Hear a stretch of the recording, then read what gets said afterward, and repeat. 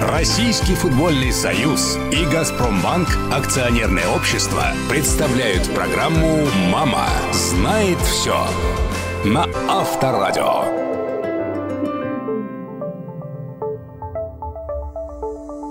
Добрый день, дорогие друзья! Здравствуйте! В эфире Авторадио программа «Мама знает все». Проект Российского футбольного союза при поддержке «Газпромбанка». Самые невероятные, честные, трогательные эпизоды из жизни наших парней и игроков футбольной сборной разных лет. Истории, рассказанные от первого лица. Истории, которые мы никогда бы не узнали, если бы в нашей программе не появились мамы футболистов. Аудиоверсию программы «Мама знает все» вы найдете на сайте Авторадио, а также на всех подкаст-платформах. Apple Podcast, Google Podcast, Яндекс, ВКонтакте, Кастбокс. Напомню, мы уже встречались с мамами братьев Мирончуков, Алексея Смертина, Егора Титова, Юрия Газинского и многих других. Если вам интересно, заходите, вбивайте «Мама знает все» и слушайте в удобное для вас время.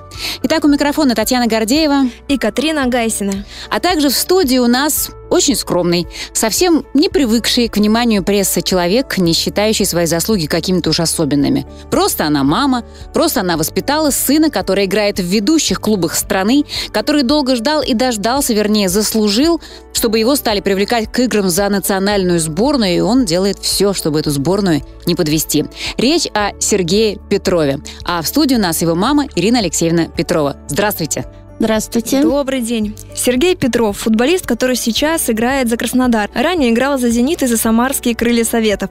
Из его достижений обязательно отметим победу в молодежном первенстве России, бронзу чемпионата страны и уверенную позицию в списке 33 лучших футболистов чемпионата России 18-19 годов. Итак, наш герой Сергей Петров. Мы сейчас в Санкт-Петербурге, на родине Сергея. Правда, уточню, что родился и вырос Сережа не в самом Санкт-Петербурге, а в Ленинградской области, в городе Никольском. Это же небольшой городок, да, Ирина Алексеевна? Ну да, это городок небольшой, где-то, наверное, сейчас население около 30 тысяч. Угу. Вот всего три школы у нас на наш город, то есть совсем небольшой. А раньше было еще меньше. А вы никогда не думали в Питер перебираться? Ну нет, не думали, потому что Питер большой, а наш такой городок Уютный. Уютный, да. Свой, родной, да. Свой, родной. Уже знаешь каждый уголок. И тем более, как бы я там тоже родилась. Вот. И работаю до сих пор еще а о вашей работе мы сейчас поговорим. Да, в этом городе. Но училась в Санкт-Петербурге. А сейчас как часто вы видитесь с сыном? Ну, видимся не очень часто. Обычно, то есть, когда у него отпуск, приезжает домой. И если там совсем-совсем, может быть, э, большие выходные, вот может появиться. А так видимся редко, но тоже пытаемся к, к ним туда съездить. Слушайте, однажды в Инстаграме среди подписчиков Сергея возник э, такой шуточный спор. Напомню еще раз, он уже 8 сезонов он играет в Краснодаре и живет, соответственно, в Краснодаре. И вот э, спор такой был. Все-таки питерский он еще или уже краснодарский? Прямо на два лагеря фанаты Сергея разбились. Вот вы, Ирина Алексеевна, к какому э, лагерю примкнули? Ну, я бы уже, наверное, к Краснодарскому. Вот, но все-таки, вот, интересно. Но все-таки мы считаем его своим питерским парнем, и многие считают, что вот он, так как родился в Питере и всю основную свою вот э, школу с детства и до вот э, пока появился в Краснодаре, это все была как бы питерская школа, и все-таки он считается питерский парень. У него и номер-то 98-й, извините, номер региона, номер Питера, да? Да-да-да, номер 98-й. Он давно еще... с этим номером играет? Он с этим номером играет уже вот как он появился в дубле «Зенита», угу. сразу взял себе вот 98-й номер. Тоже мы думали, что, Сергей, у тебя 98-й? Он говорит, ну, мне просто нравится этот номер. А потом уже так в разговоре мы разузнали, узнали, что как бы это э, питерский регион угу. 98. У него даже номера на машинах 98. Понятно. Кстати, у нас сейчас есть э, возможность поговорить с человеком, который, собственно, и организует переход футболистов из клуба в клуб. Человек, который присматривает, подбирает игроков конкретно для футбольного клуба Краснодар. У нас на связи Максим Бузникин. Тот самый Максим Бузникин, экс-игрок «Локомотива», «Спартака» и сборной России по футболу.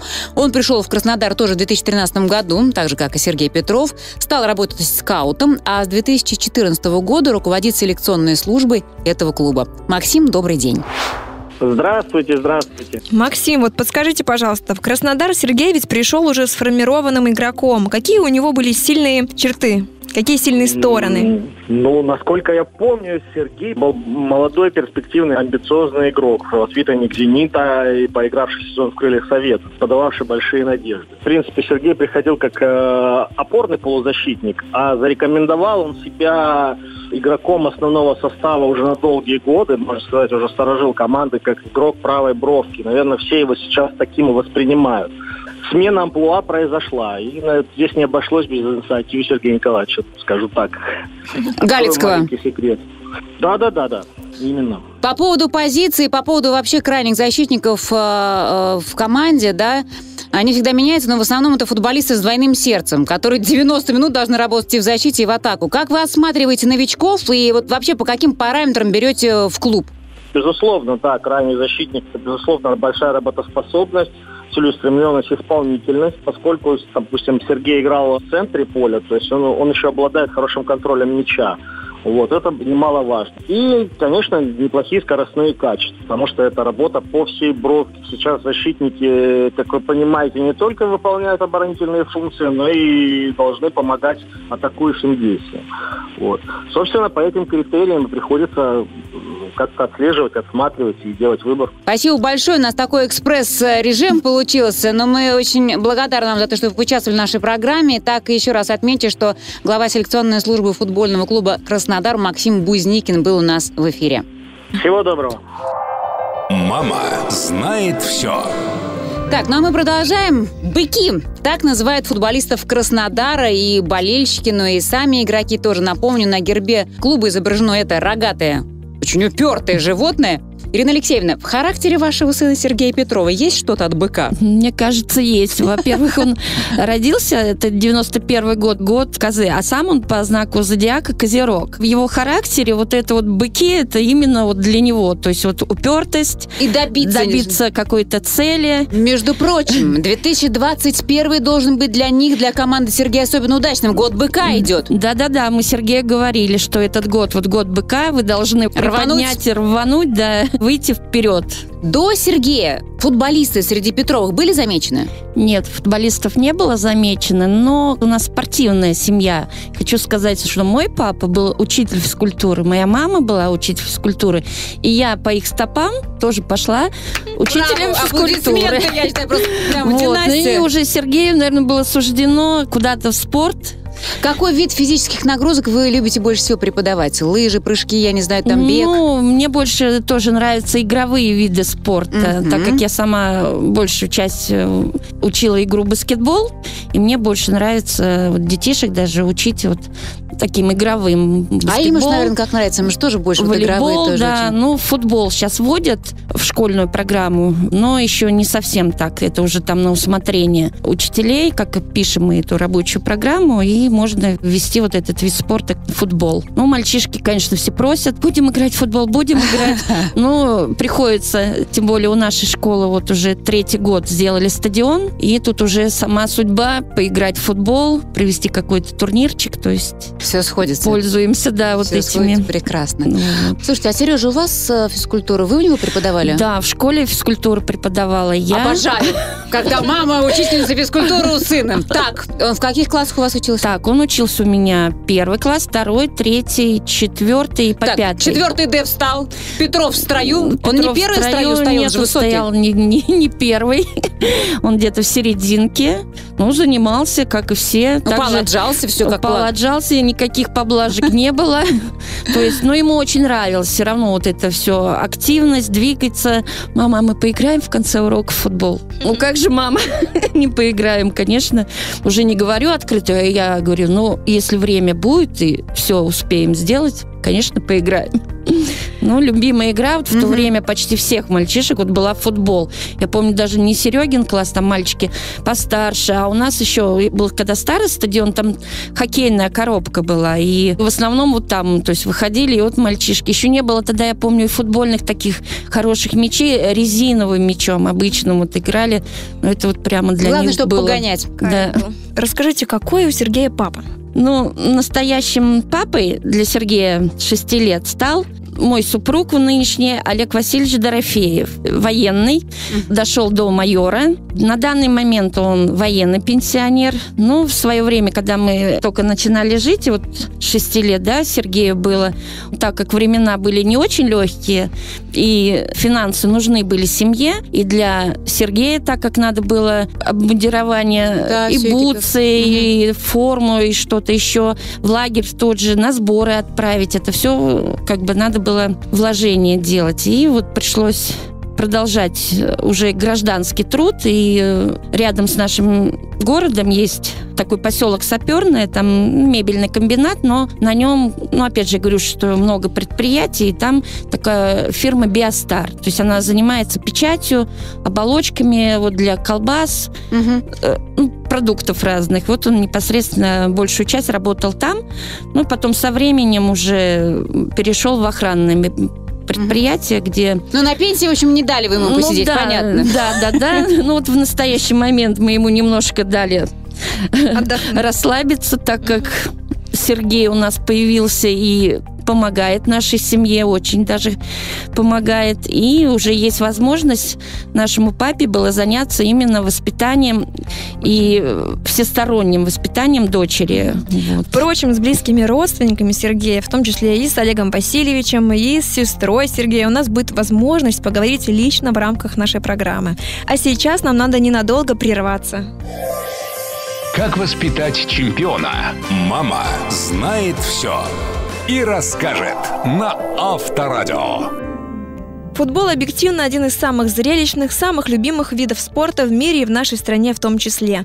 И нам интересно не только, что происходит на поле, не только результаты матчей. Нам хочется узнать, что происходит в семье игрока, в его окружении, куда он путешествует, что он ест в конце концов. И есть просто бесценный источник информации. Это мама футболиста, которая выкормила, вырастила, отдала нужному тренеру. И мы к этому источнику с огромным удовольствием припадаем. И вам рекомендуем прослушать все вышедшие выпуски программы на всех подкаст-платформах Apple Podcast, Google Podcast, Яндекс, ВКонтакте, Castbox. Мама знает все. Проект РФС при поддержке Газпромбанка. Мы продолжаем. В студии мама игрока сборной России, футболиста футбольного клуба Краснодар Сергея Петрова и Ирина Алексеевна Петрова. Напомню еще раз, ну, если вдруг кто-то подключился к нам, да, только что, а, Ирина Алексеевна учитель физкультуры, и у Сергея она тоже преподавала.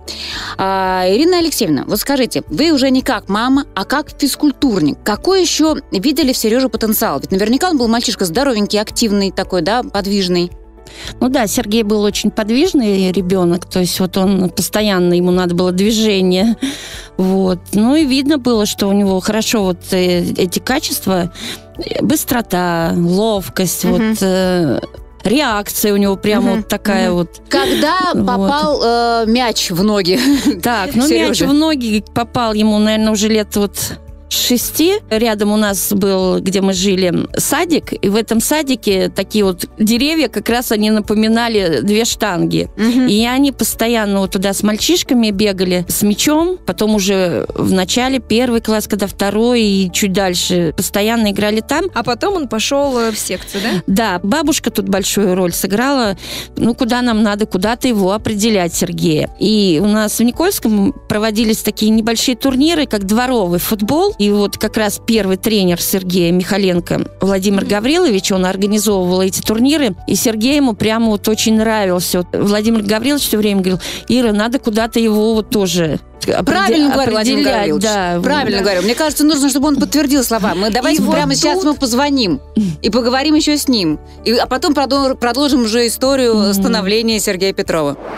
Добрый день, добрый. Скажите, прямо сейчас, вот Сергей Петров, это главное футбольное имя в истории Никольского? Это главное. Наша звезда, Никольская звезда. Слушайте, а скажите, вот. пожалуйста, Владимир Гаврилович, чем да. выделялся вот именно Сергей да. Петров? Вот вы же все равно как-то уже понимали, что вот в этом пацане что-то есть большее. Вот да, он... да, да, да. Когда он пришел ко мне, Ирочка привела его, я посмотрел на него. Ну, маленькие были, но он такой настырный, боец и сразу он схватывал на лету. Я старался мальчишкам сразу привить, чтобы техника, прием мяча, чтобы он пас отдал, точно. И вот он сразу все схватывал, заметно был сильнее всех. Ну, ребята его уважали. Ну, Сережка, он, он такой поможет. Он простой.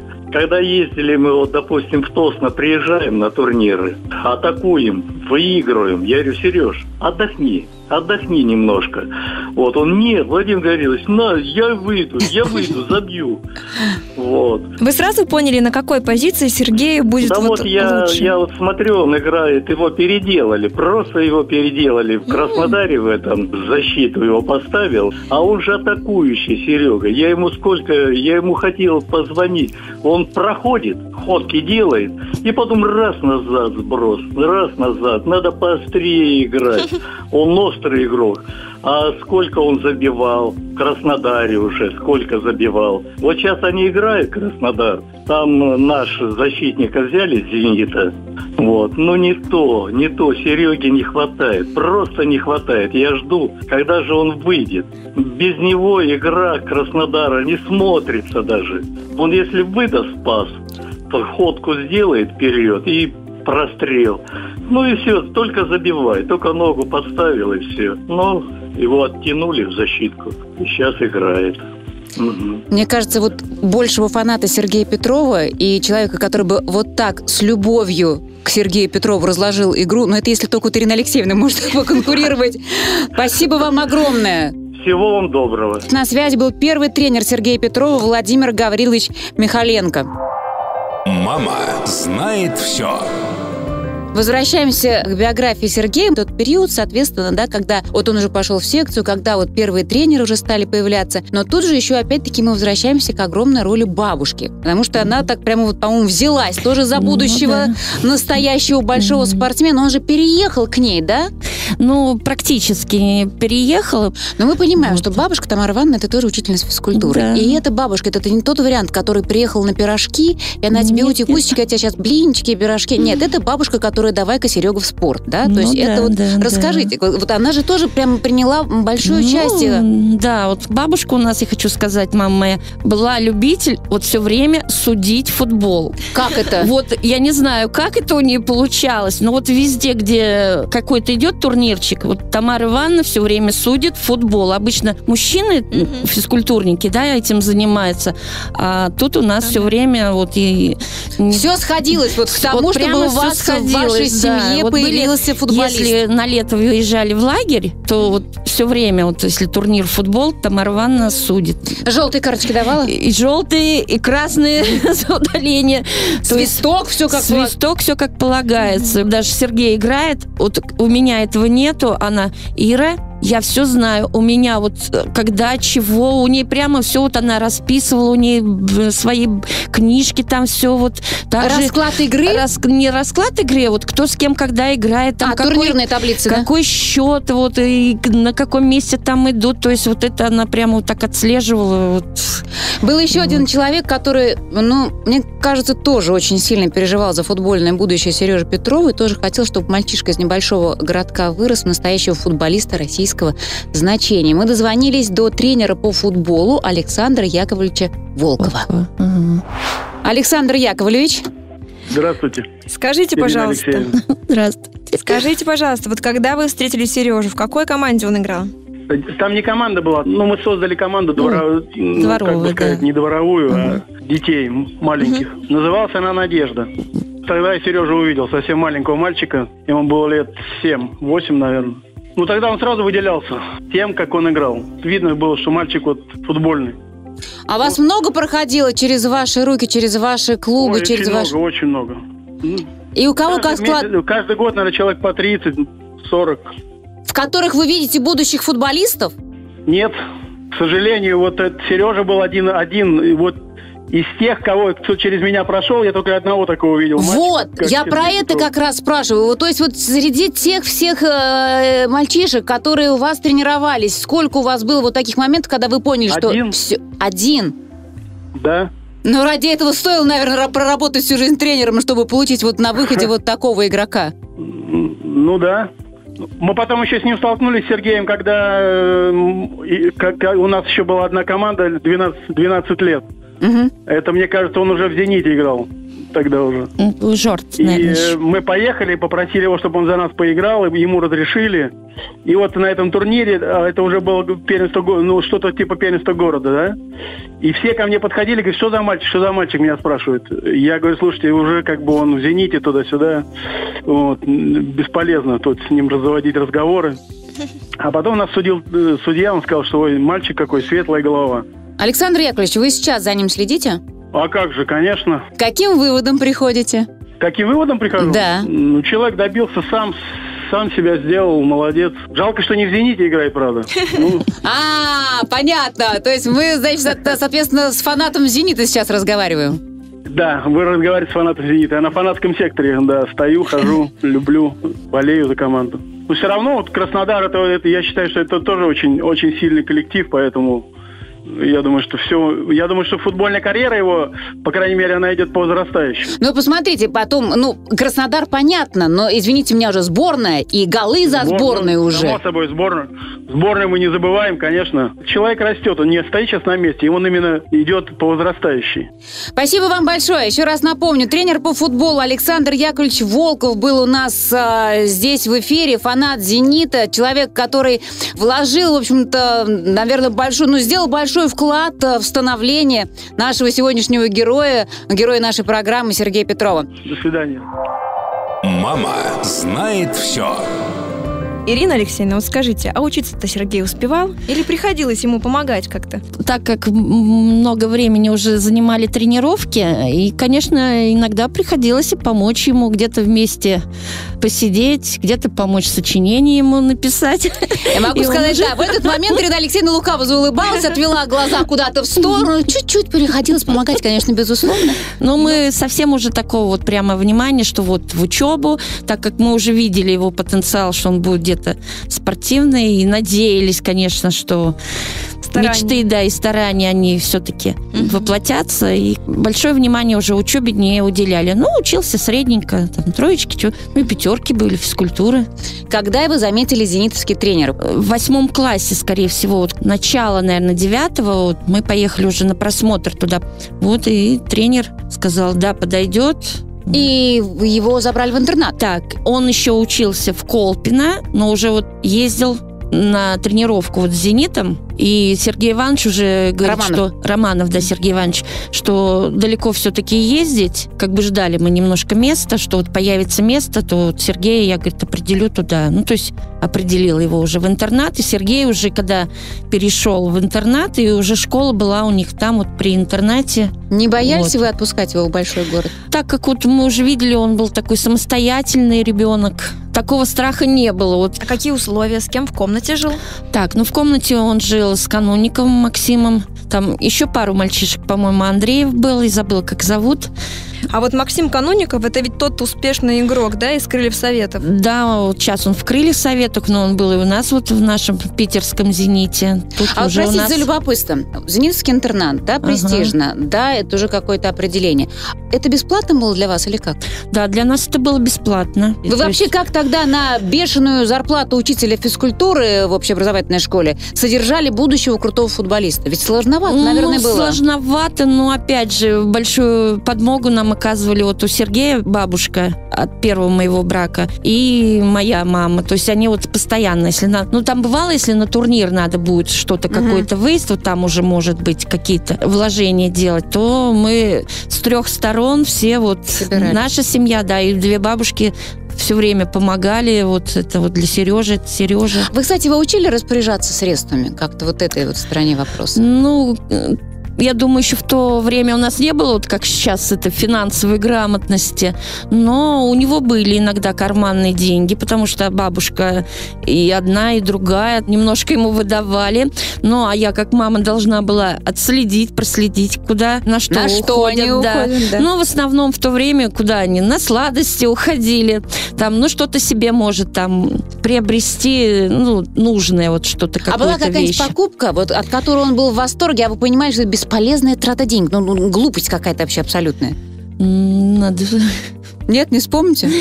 Но, видимо, Сергей не разбрасывался. Ну, да? я думаю, да, что он не, у него не было таких, чтобы он на, там совсем на такие бесполезные. Он мог скопить немножко, да, вот если там бутсы себе, вот он хотел бутсы, вот он подкопит немножко и говорит, мама, я могу теперь бу- бутсы себе купить. Я говорю, ну, молодец. Ну, конечно, чуть-чуть добавим и вот. Мама знает все. Главное у нее спросить. У нас небольшая пауза, затем вернемся к разговору. Есть еще очень интересные эпизоды из жизни семьи Петровых. Мама знает все. На Авторадио.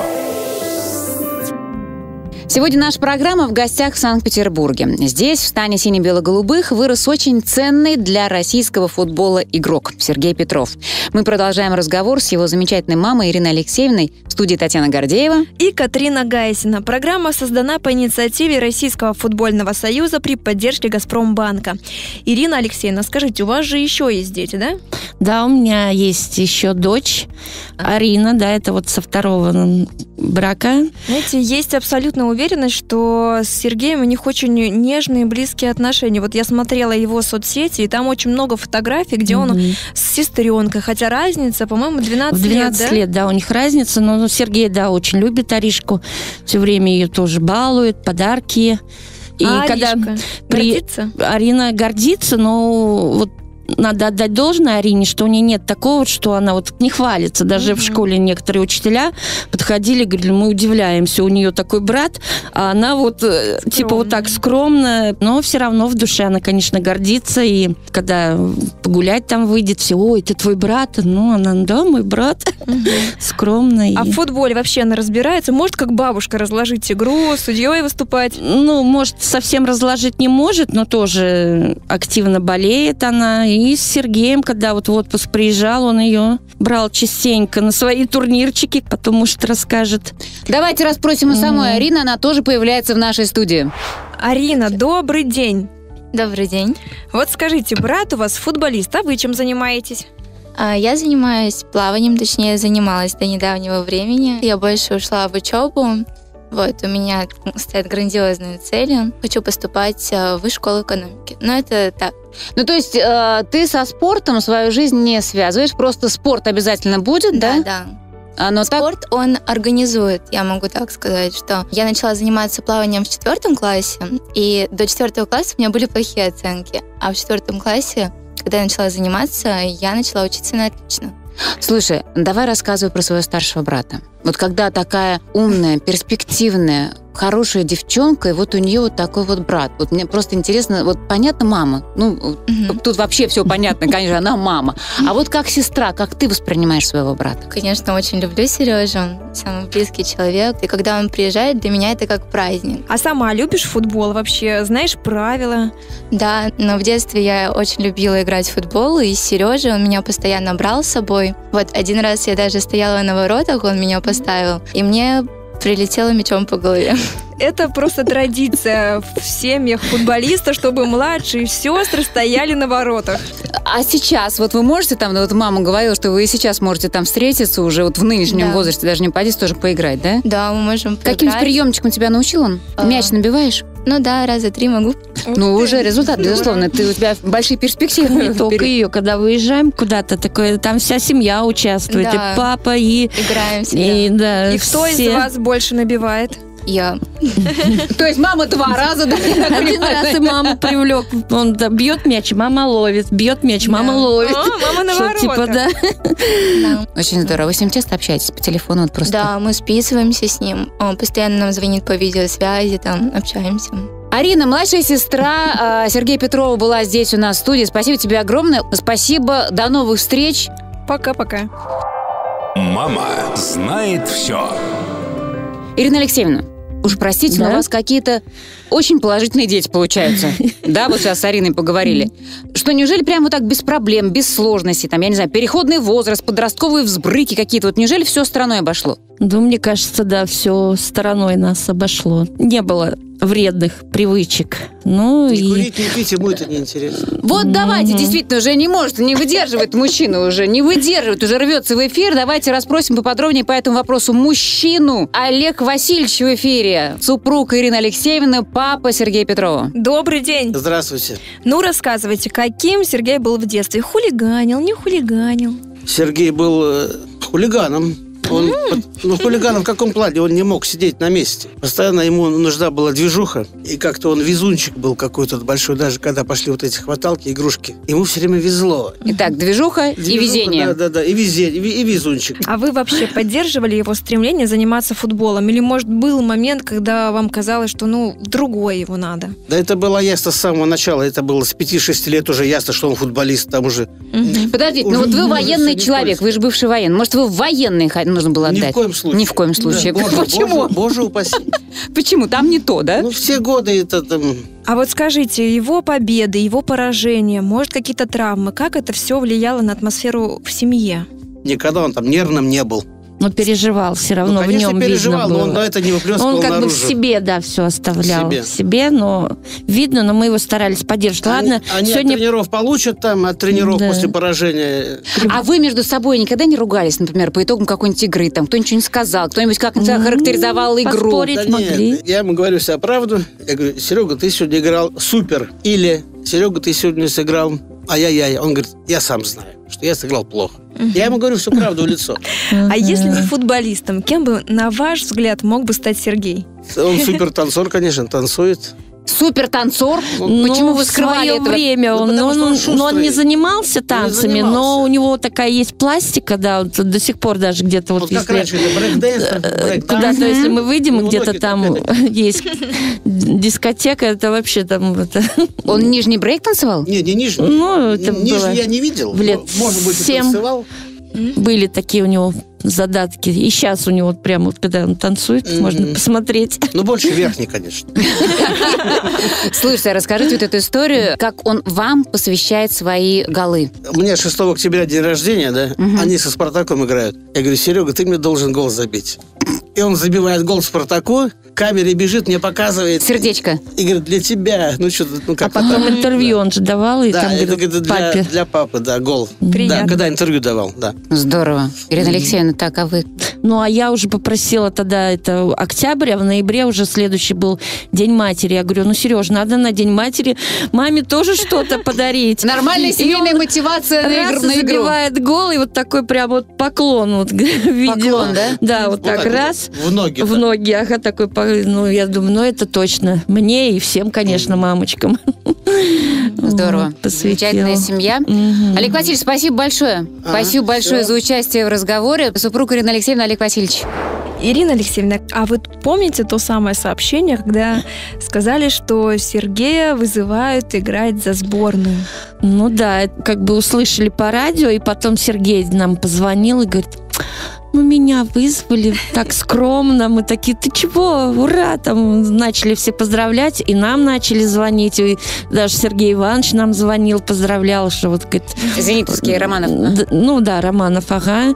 И другие, кто там знакомые, о, там поздравляем, Сергею передавайте привет, там, чтобы так держать. Это ведь такое выстраданное ожидание было, да? Ну, выстраданное, да, потому что Сергей тоже целью своей ставил, что вот всегда он хотел попасть вот в сборную, большую сборную, потому что если в молодежную, в юношескую он в свое время часто Быстро попал, достаточно. Часто, да, привлекался, там вызовы были, то уже вот чуть-чуть постарше, когда стал возраст. Но я думаю, все это Но еще... он вот- часто подходил, подходил. Вроде должны были уже его включить на э, сборную страны. Раз опять не включали в заявки. Я же понимаю, что он несколько раз подбирался к этому событию. Ну да, он подбирался, ну вот еще бывало у него тоже что-то. Только вот вроде бы все, должны его вызвать, раз у него на этот момент какая-то микротравма или еще что-то. И вот в ноябре 2019 Мгм. года он забивает свой первый гол за сборную. Как вы это вообще Ага, мы... к этому отнеслись? Но мы очень радовались. Слушайте, ну И я вот- бабушка особенно, она вот сразу как вот э, смотрит сразу, вот она ка- после каждой игры и мне позвонит, и Сергею. А То есть- бабушка в отдельной тусовке болела, да? ну да, время? она как бы в Колпино, когда... Ну, Одна? ну, а с братом, с Димой, там Ага. они вот вдвоем. И вот и она мне все время, ты смотрела? Я говорю, ну, конечно, смотрела. А когда еще на молодежку в «Зените» они ездили, и с Олегом, и Олега даже спрашивали, ты куда сегодня? Он говорит, да я с тещей на футбол. Они, ну вообще. Отлично. Вот, Отличная ездила раньше, да, болела. В 2019 году, когда российская сборная играла с Кипром, Сергея травмировали, но он просил не убирать его с поля. Наставник сборной Станислав Черчесов тогда назвал Сергея бойцом.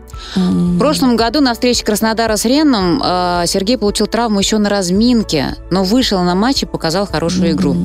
Тренер Краснодара Мурат Мусаев сказал, что Петров герой.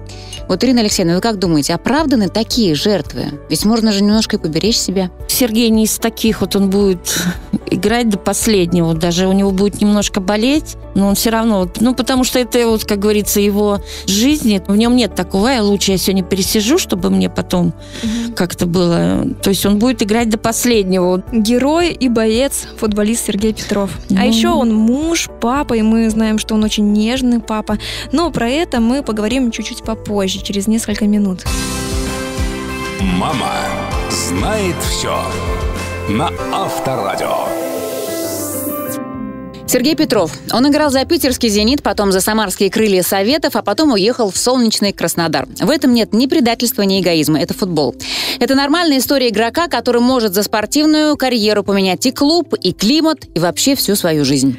Мы продолжаем разговор с Ириной Алексеевной Петровой. Программа «Мама знает все» создана в партнерстве Российского футбольного союза и «Газпромбанка». Программа звучит для вас на Авторадио. Какую реабилитацию готовит мама Ирина Алексеевна, когда сынуля приезжает домой? Рассказывайте. Ну, мамуля, конечно, ждет с нетерпением сына домой, но и немножко побаловать тоже приходится. Чем его откармливаете? Откармливаем. Ну, Сергей любит жареную картошку в мамином исполнении и котлетки. Но это только одноразово, а потом все-таки уже более такой рацион, который подходит спортсменам. Ну, уже там курица, рис. Неужели только разочек жареная Но картошка? много нельзя, потому что расслабляться им не дают. Когда приезжает домой, ну, где-то день-два он может отдохнуть, а потом уже он выполняет свою определенную программу. Там сколько-то им надо пробежать, что-то в тренажерном зале. Слушай, ну хоть отсыпается Овощи. в волю он дома. Отсыпается, ну, может поспать побольше, подольше немножко. Но потом все равно то надо опять ему куда-то бежать, там, друзья, поиграть ему надо. Мы уже говорим, ну ладно, Сергей, ты только вот приехал, там, отдохни. Не, мальчишки ждут, надо вот немножко. Он говорит, я, я говорит, слегка. Говорит, буду беречь себя, но слегка. Сейчас у него уже полноценная семья, есть дочка Ксюша. Вот с появлением ребенка как-то он по-новому для вас открылся, какие-то новые качества вы увидели в нем? Мне кажется, у него больше стало вот такой заботы. Повзрослел, да. плюс вот как стал семейный, то есть ответственности у него за свою семью и вот за нашу. А вы знаете, Мгм. что они с женой планируют троих детей? Вот бабушка к этому готова-то? Ну, готово, чё ж, будем помогать. Мы им наоборот говорим, давайте побольше, пока мы молодые, пока у нас есть энергия, что можем по- позаботиться, поиграть и повоспитывать также со своей стороны внуков. Мы сегодня в программе уже упоминали этого человека. Есть ощущение, что он точно знает, как воспитывать настоящих мужчин. Заслуженный тренер России, тренер с дюшора «Зенит», тот самый, что был наставником Александра Киршакова, Максима Канунникова, Евгения Башкирова и Сергея Петрова. Сергей Иванович Романов. У нас на связи.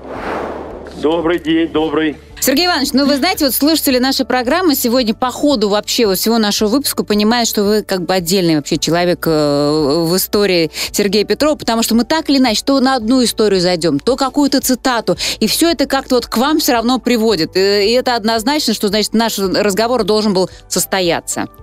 Я рад, я рад. А вот вспомним, 14 лет к вам приходит Сергей, и он приходит сразу правым э, защитником, или это его... Нет, нет. Я Мгм. увидел в нем игрока средней линии. У него всегда голова была вверху. Он видел всех. Он... Это был игрок средней линии, именно центрального звена. Поэтому у меня в команде он играл вот позиции центрального полузащитника, э, такую, в общем-то, работу основную выполнял в средней линии поля. А вы знаете, Сергей Иванович, уже сегодня второй раз в программе э, звучит вот эта история, что э, сейчас позиция, на которой сейчас играет Сергей Петров, это не совсем верная. И э, представители вот 98-го э, региона придерживаются совершенно иной позиции, что он должен по-другому играть. И что вообще было бы прекрасно, чтобы если бы он здесь, в своем регионе, и играл. Вот ваше мнение по этому поводу.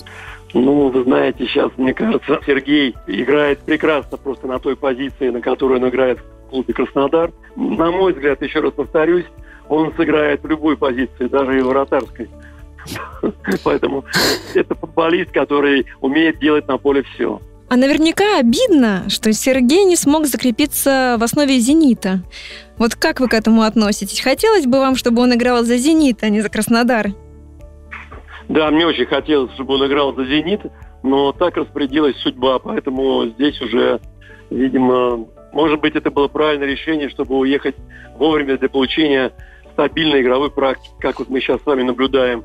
Многие парни молодые из «Зенита» уходят играть э, отдаются в аренду и так далее. Чтобы именно играть. Чтобы именно играть, да. На этом этапе, конечно, э, играть нужно обязательно. А можно еще такой вопрос? Вот как вы считаете, вот э, мальчишка Сережа Петров, которого вы э, знаете, соответственно, еще уже много лет, и вот э, нынешний уже крутой футболист Сергей Петров, вот для команды чисто с психологической, с человеческой точки зрения, что он несет, какую роль он играет? Он несет э, сумасшедшую уверенность командную. Вот это самое главное. На него можно опереться, положиться. Он э, из тех э, знаете, как говорят, я бы пошел с ним в разведку. Mm. Вот, наверное, вот этой фразой все, все сразу становится, э, объясняет сразу. Это из категории людей, с которыми надо ходить в разведку. Можно идти в разведку. А еще говорят, опять-таки, его э, такая основная характеристика, что это просто необыкновенный трудяга. И что человек просто такой трудоспособностью, что, э, ну, дай бог, любому другому футболисту. Ну, это заметно всегда, когда мы смотрим или вживую, или по телевидению с вами. Его взгляд устремленный там, где игра, глаза горящие. И вот именно футболист на протяжении всех 90 минут, еще и добавленных минут, теперь мы знаем, все время играет. Он все время живет футболом. Его глаза, его эмоции, они играют. Вот я таких футболистов очень сильно уважаю и люблю. И, к сожалению, не все наши футболисты живут вот, на протяжении прям всего э, матча. Поэтому Если... вот, вот это, да, вы правильно отметили. Это очень такой очень хороший факт его карьеры. Сергей Иванович, если бы вы знали сейчас, с каким удовольствием, с каким вниманием вас слушает мама. Прямо вот глаза закатила. Это же так приятно любой маме, когда про ее сына так говорят. мамам я... Вы знаете, и мамы, и бабушки, и папы, родственники приходили на футбольное поле. Это всегда родителям приятно очень. Очень приятно родителям слушать э, эти слова, но Ирина в данном случае заслужила это сто процентов, потому что наверное, это, как мы с вами не говорили, что там занимался у Сергея Ивановича Романов, он воспитанник. Да нет, конечно, не воспитанник. Воспитанник у нас, вы знаете, суворовцы, накимовцы, правильно? А у нас футболист, с которым я работал. А воспитание все идет в семье. И вот семья, мне кажется, мама сама как бывшая спортсменка дала очень много. Значит, много в детстве занималась, давала ему те движения, которые другие дети не осваивали. Вот здесь в чем самый главный плюс. Спасибо огромное. Спасибо, спасибо большое. Спасибо вам за приглашение. Всем привет. Спасибо огромное. Заслуженный тренер России, тренер из Дюсшор «Зенит» Сергей Иванович Романов был у нас э, в эфире, чему мы чрезвычайно рады, потому что, по-моему, это ну, прекрасные слова прозвучали уже, ну, по сути, под финал нашей программы. Адресованы они семье и Сергею, и, конечно же, в первую очередь маме Ирине Алексеевне. Мама знает все. А вы себе представляете, какой самый лучший вариант тут развития событий для Сергея? Ну, какую они вот сейчас ставят? Цель это уже идет командная, его личная, то есть попасть там, допустим, в Лигу чемпионов. Вот. Э, в футбольной его карьере продолжил, чтобы вызовы были в сборную. В сборную. Впереди есть чемпионат мира. То есть еще и там может успеть. То есть все от него зависит. Все от него зависит. Как всегда, Да. все зависит от него. Сергей Петров, как обычно. Да. Ирина Алексеевна, спасибо вам огромное. Такие эфиры, вот, как мне кажется, позволяют по-иному взглянуть на игроков, а, по-новому их для себя открыть и поддерживать их искренне в любой ситуации. Даже при самом драматичном раскладе в турнирной таблице, даже при самой неровной статистике побед, голов и результативных передач. Это была программа «Мама знает все». Мы ее ведущие Катрина Гайсина, Татьяна Гордеева. Прощаемся ненадолго, до следующей недели. Но эту программу, а также выпуски с мамой Егора Титова, Алексея Смертина, братьев Мирончуков и других футболистов вы можете еще раз прослушать на сайте Авторадио, а также на всех подкаст-платформах Apple Podcast, Google Podcast, Яндекс, ВКонтакте, Castbox. А с новой героиней мы встретимся ровно через неделю в субботу в 12.00. Ирина Алексеевна, до свидания, всего доброго. Спасибо Всё, большое. всего доброго, до свидания. До свидания. Было очень приятно с вами пообщаться. Спасибо. Самые близкие и важные в жизни люди, мамы, помогают нашим знаменитым футболистам вернуться в детство. Мама знает все.